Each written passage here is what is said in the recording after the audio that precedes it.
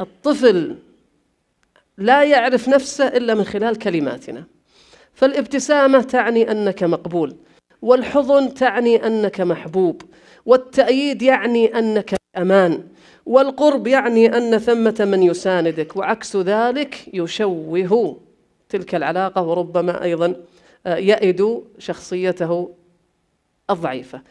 هذا المدخل يجعلنا نفكر مليا في معنى التربية. التربية لها معاني كثيرة على مستوى اللغة على مستوى حتى على مستوى الاصطلاح. فعلى مستوى اللغة من معاني التربية البناء حالا فحالا حتى تمام الشيء. أما على مستوى الاصطلاح فمأخوذة من النمو. تربية من الربوة من النمو.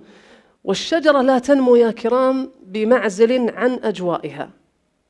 بمعنى أنها تنمو وهي تتكيف مع تلك الأجواء سواء مع تربتها أو مائها أو طقسها.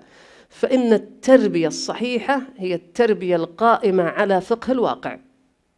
لذلك لا نستطيع أن نربي أبنائنا بالطرائق التي تربينا عليها. لا نستطيع أن نأخذ شجرة نمت في مكان ما في جنوب المملكة نريد أن نزرعها في الجبيل فإنها لا تخرج لأن البيئة مختلفة. تخيل أن شخصية الأبناء عبارة عن شجرة. هذه الشجرة لها جذور.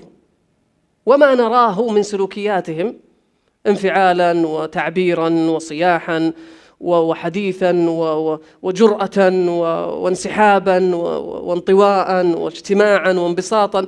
هذه كلها فروع. وهذه الفروع فروع الشجرة تتمايل حسب رياح المواقف.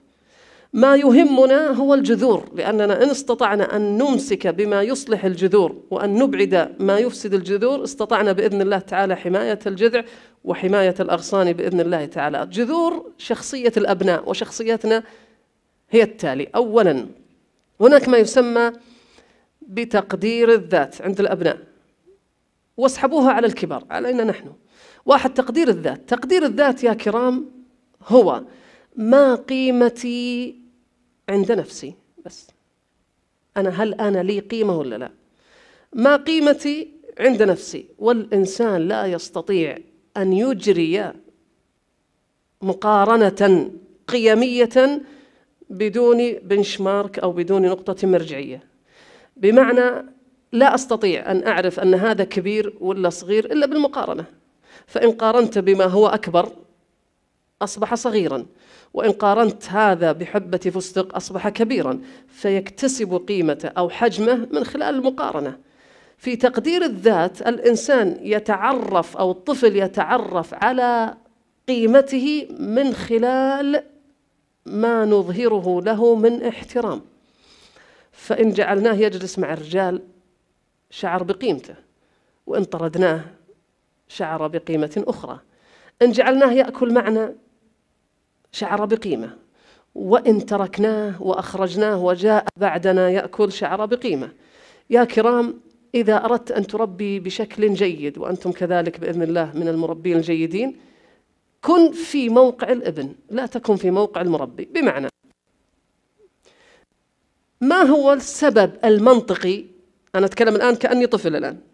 ما هو السبب المنطقي اللي يخليك تصب لي نصف كأس اللبن وتصب لك أنت كأس اللبن كامل؟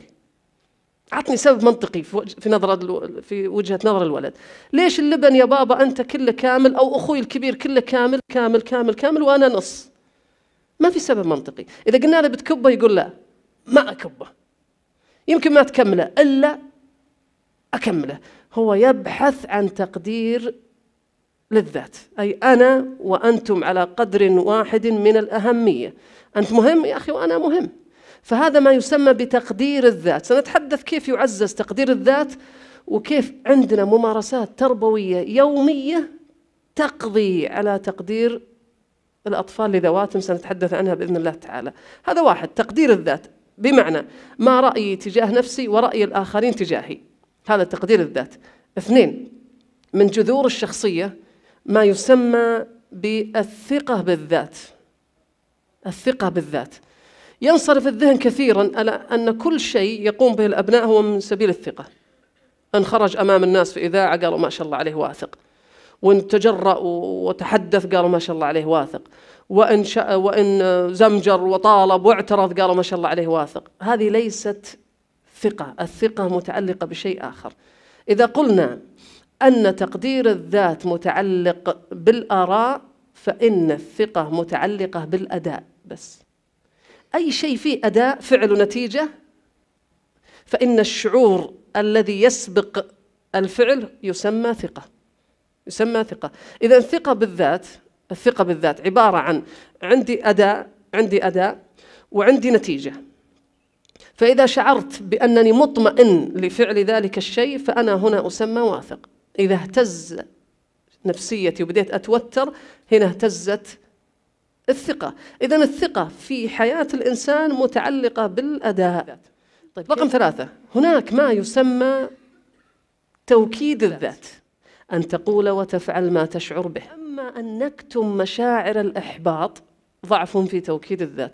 مشاعر الامتنان حتى ضعف في توكيد الذات. مشاعر الحب أصبحنا نكتمها ضعف في توكيد الذات أنا عندي الولد قبل آه، قبل كم يوم نايم غاط في النوم. بعدين قام كذا قال آه خدعتكم. أنا أصلا ما نمت. رقم أربعة. وهو أزمة عند النساء البنات الصغار أكثر من آه، الكبار. عفوا أكثر من الرجال. وهي في مسألة تقبل الذات. تقبل شكلي طولي بشرتي بثوري نوعية شعري لون شعري عيوني أسناني سواء جيدة أو غير جيدة هل أنا أتقبل ذلك أو لا أتقبل ذلك؟ سؤال. إيش رأيكم؟ الطفل عنده تقبل ذات ولا ما عنده؟ اللي يرى أن عنده تقبل ذات عالي يرفع يده. بس تكرما سامحوني. اللي يرى أن الطفل عنده تقبل ذات عالي يرفع يده. ممتاز.